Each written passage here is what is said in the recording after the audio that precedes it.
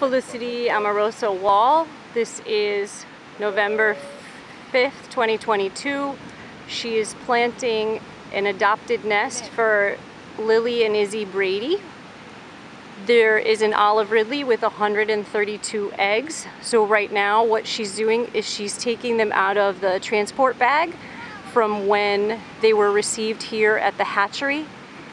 This was just about an hour ago and she's taking them out of the bag and laying them out in rows of 10 and what she'll do next is she'll wait and have the turtle team take a picture of the eggs. And then the eggs are placed into this cavity that she's dug 45 centimeters deep.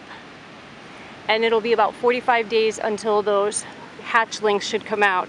One of the unique features of this nest for Felicity to see was a double egg. There were two eggs that were what we call twins, so the eggs were connected together and they are going to be placed into the nest and we'll see them in 45 days either hatching out or as they are right now in the nest excavation.